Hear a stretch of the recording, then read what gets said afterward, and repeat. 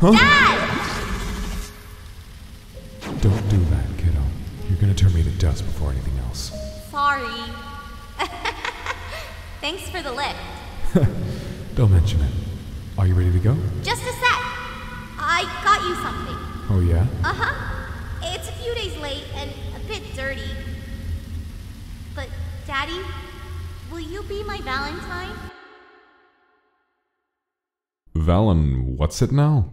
Valentine. As in Valentine's Day? I guess monsters don't have a holiday like that. It's a holiday on the surface to celebrate and give gifts to people we love. So, will you be my Valentine, Sans? What's with the look? Say something. you to be kidding me. Don't. That's so cheesy. Sans. What's the matter, sweetheart? Please stop. You're looking a little blue. Sans, no! Sans, yes. Oh, never mind. Forget I asked. Don't be like that, Frizzy. I'm sorry. You know I can be such a numbskull. Will you just answer the question? Sure thing. Dad, are you alright? You got really quiet. I'll survive.